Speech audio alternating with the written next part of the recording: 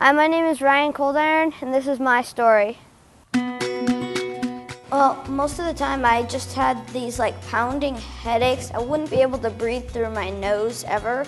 I think in sixth grade he missed 20 something days of school. It was his first year at middle school, so that was that was frustrating. I missed countless sports practices and games just because I couldn't perform at my 100%. It's been over a year and I've only had one to two sinus infections and I've just felt so much better. Here the middle.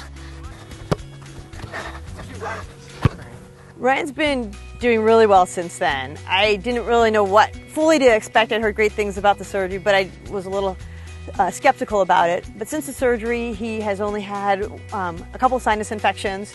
He's had colds like normal kids do which he's recovered from the last 24 hours instead of him being on antibiotics and him being down and out for you know six or seven days. He's been doing great. It's been a lot better. I've been able to attend more sports practices. I've been able to just hang out more. Been able to go to school. Haven't missed as much, and my grades have been higher.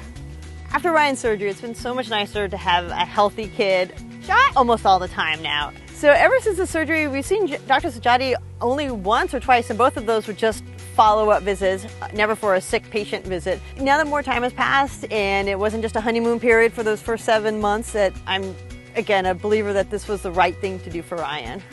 Thank you.